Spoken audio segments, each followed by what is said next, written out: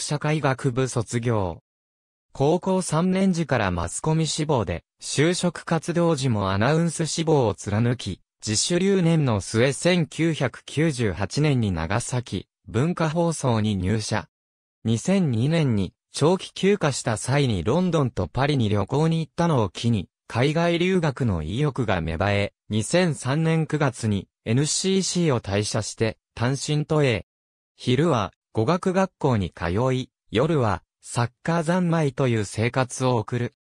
2004年1月に一時帰国した際に、大学の先輩だった石原隆氏を介して、西岡明彦から連絡を受け、西岡のフットメディア設立にあたって、アナウンサーへの現地情報収集などで協力。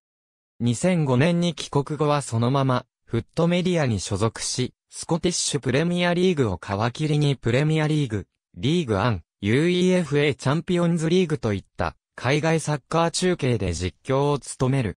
かつて放送されていたリーグアンでは、遠藤忠次第とコンビを組むことが多かった。